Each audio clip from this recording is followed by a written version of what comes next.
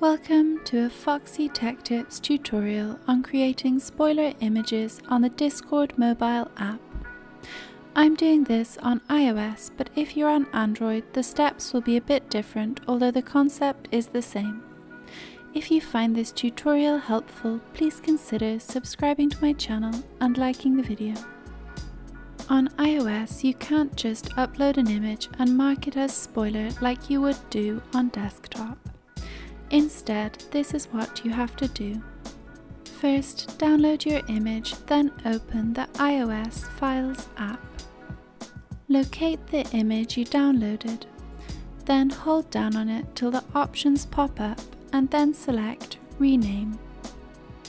Now you need to rename the image and make sure you write spoiler underscore, all in capital letters followed by the image name.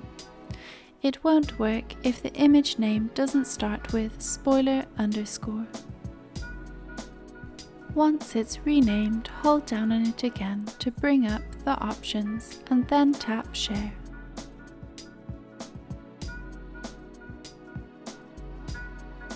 Swipe to the Discord app and select it.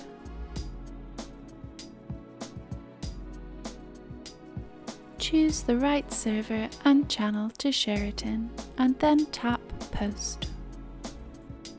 If you go back into the Discord app now and open the channel you posted it in, you'll see that the image has been uploaded with a spoiler before it. And that draws an end to this tutorial.